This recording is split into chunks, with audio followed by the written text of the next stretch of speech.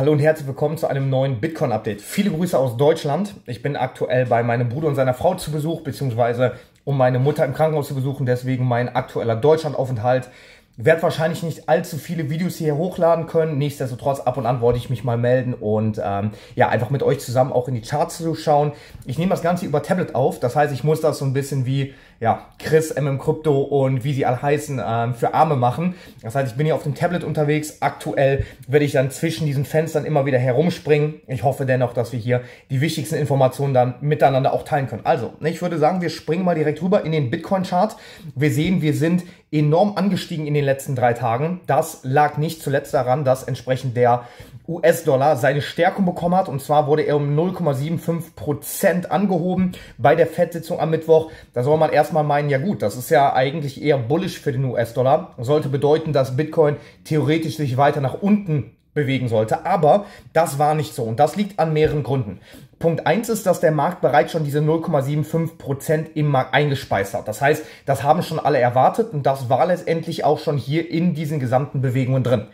Punkt zwei ist, dass entsprechend mit dieser kräftigeren Zinsanhebung, die aber trotzdem die Prognose getroffen hat, es mehr oder weniger so interpretiert wurde, dass gesagt wurde, ja gut, der Wirtschaft kann es dadurch ja vielleicht besser gehen. Und das ist ein Schritt, um letztendlich der Rezession dann auch entgegenzuwirken. Wie kriege ich das weg? Super.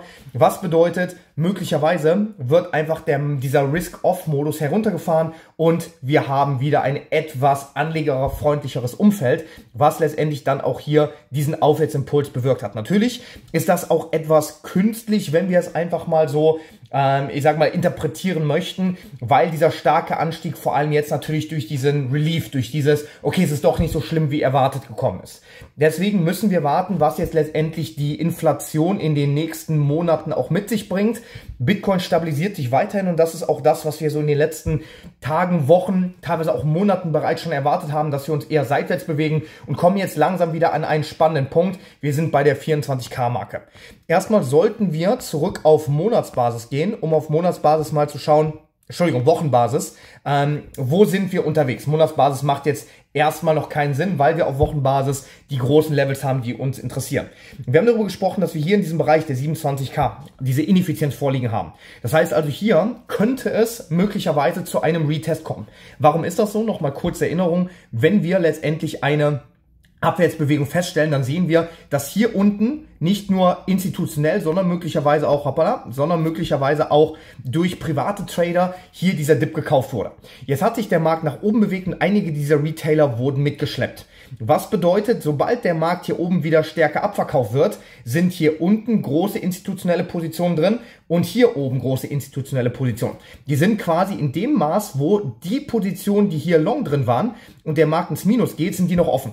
Das heißt also, der Markt ist gehatcht unterwegs. Der Markt ist in, von diesem Bereich hier, von diesem großen Ankauf, von diesem großen Verkauf. Sobald das Tief unterschritten wurde, ist der Markt hier neutral unterwegs. Ja? Mit Markt meine ich die großen Institutionen und Banken. Was bedeutet, dass die Positionen, die gerade noch offen sind, die vorher hier den Dip gekauft haben, im Minus sind. Und die wollen natürlich im besten Fall Break-Even oder mit Profit, mit Profit geschossen werden. Was bedeutet, dass eben der Markt möglicherweise diesen Bereich antestet und die sogenannte Ineffizienz damit schließen kann, wodurch diese Long-Positionen, die hier aufgebaut wurden, aus dem Markt herausgeschlossen werden können und die positiven im Profit sich befindlichen Short-Positionen weiter ausgebaut werden können. Ob und wann das der Fall ist, können wir nie zu 100% wissen. Wir können nie genau wissen, wann ein Hedge aufgelöst wird oder teilweise reduziert wird. Das können wir maximal im Volumen irgendwo vergleichen. Denn was wir schon sehen ist, wir haben hier in diesem Bereich relativ wenig Volumen bekommen und jetzt sind wir in einem deutlichen Hochvolumenbereich. Das heißt, dass hier gerade Positionen immer und immer weiter etabliert werden. Und das ist eher ein positives Zeichen für den Markt. Denn was wir bei ansteigenden Kursen sehen wollen, ist immer ansteigendes Volumen. Das wollen wir sehen, um zu erkennen, Position, das Geld, das Kapital, was in die Märkte kommt, das führt dazu, dass neue Positionen geöffnet werden. Und wenn jemand kauft, muss jemand anderes verkaufen. Das ist entsprechend die Umverteilung, das Wechselspiel, das muss an der Börse so sein. Und wann immer jemand kauft, und das dazu führt, dass das Open Interest, das heißt die offene Kaufposition, jetzt für steigende Kurse sorgt, bedeutet das, dass hier keiner mehr verkaufen möchte und der Markt einen, einen Bereich höher springen muss, um diese Kauforder mit der nächsten Verkaufsorder zu bedienen. Und dadurch springt der Preis nach oben. Und das heißt also, je mehr Volumen in den Markt kommt, desto größer wird in aller Regel das Open Interest. Und wenn das Open Interest für steigende Kurse sorgt, dann sehen wir, dass das eine gesunde Bewegung ist. Und das ist definitiv der Fall. Deswegen auf Wochenbasis gerade sehr, sehr spannend. Nichtsdestotrotz müssen wir noch ein bisschen aufpassen, weil wir natürlich auch hier immer noch die Price Action sehr, sehr bearish sehen. Wir haben gesehen, dass der Markt hier am Anfang der Woche erstmal abverkauft wurde. Wir haben diese Spitze gesehen, die per Schlusskurs nicht mehr überschritten wurde. Ich mache es mal hier mit diesem äh, mit dieser äh, horizontalen Linie fest. So, da sehen wir, dass der Markt hier nicht drüber geschlossen hat in der Vorwoche, jetzt aber nahezu wieder nach oben geht. Sollten wir bullish schließen, das heißt, sollten wir oberhalb dieser 22.700 Dollar schließen, ja, oder 22.500 bis 22.700 mache ich jetzt einfach mal, sollten wir in diesem Bereich schließen, ist das ein sehr bullisches Signal, beziehungsweise schließen wir drüber, ist das ein bullisches Signal, schließen wir in diesem Bereich ist das ein relativ bearisches Signal, weil dann haben wir hier so, ein, so eine Art Double Rejection auf Wochenbasis, was schon extrem stark ist, sowas wie hier quasi. Das kann dann für einen deutlichen Impuls wieder nach unten sorgen. Aber sollten wir drüber schließen, bullisches Signal, definitiv erste Haltestelle 27k, zweite Haltestelle 28k. Diese beiden Ineffizienzen. Schließen wir bei 22,5 bzw. 22,7 und drunter, sind wir kleiner unterwegs, dann bedeutet das, wir werden uns mit großer Wahrscheinlichkeit die Tiefs hier holen. Gehen wir jetzt mal zurück auf Tagesbasis. Auf Tagesbasis erkennen wir, dass der Markt auch hier in diesem Bereich sich nahezu konsolidiert. Das ist die aktuelle Spitze, die überwunden werden muss. Auch hier kommt gerade noch Rejection rein. Aber was wir feststellen können, wir bilden in der Sukzessive höhere Tiefs. Und das bringt natürlich für diesen Gesamt, für diese Gesamtbetrachtung einen sehr, sehr bullischen Impuls mit sich. Höhere Tiefs heißt, dass immer zu schlechteren Preisen eingekauft wird, um den Markt nach oben zu forcieren. Heißt für uns, wir haben hier gerade unseren Bereich, wo wir unsere mögliche Rejection dann auch gerade bekommen. So, sind aber da Price Action technisch schon langsam drüber gebrochen. Wir haben hier unseren, unser Art aufsteigendes Dreieck. Na, wie kriege ich es hin? Anker zu positionieren. Kriegt es hin? Ja, wahrscheinlich irgendwie so, genau. Das heißt, wir haben hier so eine Art aufsteigendes Dreieck gebildet bekommen, wo wir gerade Price Action technisch sehr, sehr bullish, sehr, sehr positiv unterwegs sind. Natürlich kann in diesem Bereich, wo wir hier bereits schon gesehen haben, da wurden hoch gebildet und mit ordentlich Volumen auch rejected. Natürlich kann das dazu führen, dass wir in diesem Bereich erstmal mit weiterer Rejection sorgen, also beziehungsweise mit weiterer Rejection rechnen müssen.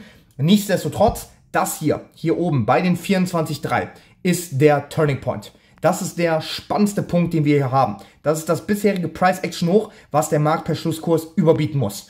Sollten wir heute Abend weiterhin so schließen, können wir erstmal damit kalkulieren und damit rechnen, dass wir ein kleines Retracement bekommen. Hier ist viel Volumen, hier ist viel Umverteilung. 22,6, 22,7 ist dann das Ziel. Schließen wir bullish, schließen wir irgendwo in diesem Bereich hier oben, sollten wir irgendwo in diesem Bereich hier umschließen, dann ist das ein extrem bullisches Zeichen, sodass wir davon ausgehen, dass entsprechend der Markt dann sich mit dem nächsten Impuls nach oben bewegt. Und da haben wir sehr, sehr schön hier auch diesen Bereich, diese Ineffizienz bei den 26,5, wo wir dann tatsächlich erst den nächsten Impuls, den nächsten Test erwarten. Das heißt, das ist unser großes Ziel für den Bullenimpuls. Dafür brauchen wir eine Akkumulation, eine Stabilisierung hier in diesem Bereich. Um das zu verifizieren, gehen wir ganz kurz in den Kumulierungs- und Distributionsindikator. Das ist der, der das Volumen quasi mit der Kerzenbewegung in Verbindung bringt. Das haben wir hier sehr schön dargestellt.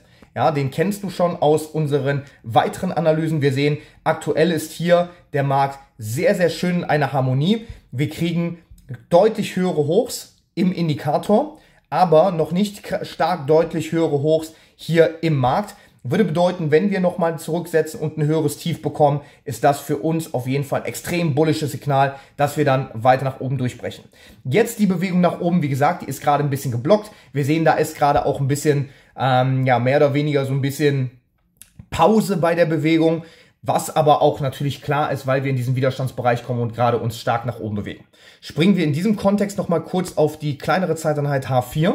Und auf H4 sehen wir, da kommt gerade die Rejection. Wir haben es mehrfach versucht in diesen Bereich zu kommen. Sorry, ich nehme eben das Fadenkreuz. Haben es mehrfach versucht, in diesem Bereich da oben auch zu kommen. Sehen, dass wir hier schon eine kleine Divergenz haben. Höhere Hochs, tiefere Hochs. Das kann natürlich für, Re für Rejection sorgen. Wir haben hier diese aggressive dynamische Unterstützung, die von diesem Hoch rejected werden kann. Wir nach unten fallen und hier sehen wir Price Action erwarten wir bei den 22,8 bis 22,6. Sollten wir in diesem Bereich zurückkommen, können wir sogar mal unser Fibonacci Tool an den Tag legen und können möglicherweise von dieser Bewegung sehen, dass wir im Bereich des 61,8 bis 50er Retracement Bereiches eine sehr, sehr schöne Rücksetzungszone haben, die einhergehen würde mit, wir retesten den Liquiditätsbereich hier unten, weil wir sehen, dass diese Ineffizienz, ja, ich zeichne die nochmal kurz ein, dass die Ineffizienz zwischen diesem Hoch, da haben wir es, Rechteck, die Ineffizienz zwischen diesem Hoch und diesem Tief noch nicht ganz gefüllt ist. Das heißt also, wir haben hier noch einen kleinen Test, den wir abwarten können. Und sollte der kommen, sollte der kommen, würden wir uns bullish positionieren für den Breakout nach oben. Das heißt, wir haben hier sehr, sehr wahrscheinlich ein eher bullisches Szenario. Sollten sich auch die Indizes weiter positiv entwickeln, sollte der Markt stabil bleiben, dann sieht das sehr gut aus. Dass wir jetzt sofort nach oben durchbrechen, kann sein. Ich würde es dann eher als korrektives Hoch sehen, sodass wir hier einmal die höheren Hochs abgreifen, die Liquidität, weil wir sehen ja, hier kam ordentlich Volumen rein nimmt gerade aber auch schon ab. Das spricht eher für einen kleinen Short-Impuls und dann aber mit dem Retest und entsprechend dieser Akkumulation haben wir eine große Wahrscheinlichkeit, hier weiter nach oben zu gehen. So, jetzt springe ich nochmal um auf die Kamera um mich nochmals verabschieden. Also das heißt, wir haben im Kontext des Marktes aktuell ein relativ bullisches Verhalten. Wir haben die Möglichkeit, ein kleines Retracement zu bekommen, Richtung 22.600 bis 22.800 US-Dollar, um dann nochmal in den Ausbruch nach oben zu kommen. Die Ineffizienzen, die da oben liegen, plus eben letztendlich die das Volumen, was mit dem Open Interest beziehungsweise mit der Volumenentwicklung sehr, sehr schön einhergeht, zeigt definitiv das Erholungspotenzial bis zu 27k vorliegt, um die Ineffizienzen zu schließen. Und dann müssen wir uns anschauen, wie es da letztendlich auch dann komplett mit der Price Action aussieht. Aber bis dahin ziemlich bullish unterwegs. Ich wünsche euch eine schöne Zeit. Viele Grüße von uns. Viele Grüße auch von meiner Mutter. Ihr geht's wieder deutlich besser und ähm, ich bin froh, hier zu sein nach über dreieinhalb Jahren, nachdem ich nicht mehr hier in Deutschland oder auch bei Familie war. Definitiv ein schönes Gefühl wieder. Ich melde mich die Tage. Bis bald. Bleibt gesund und munter. Euer Dominik von der World Story. Ciao, ciao.